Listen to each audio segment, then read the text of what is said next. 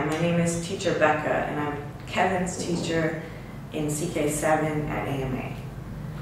So Kevin is doing really well. Um, I'm looking at his final test, which he did well on, especially in the speaking and listening skills. Um, he learns the material well. He always seems to have good responses in class, during activities, and during the lesson, and participates well.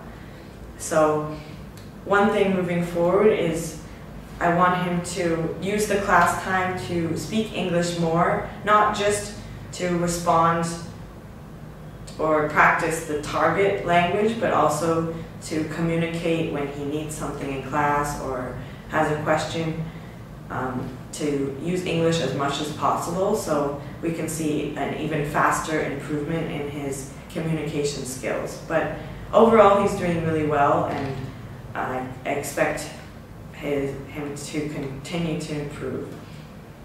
Thank you.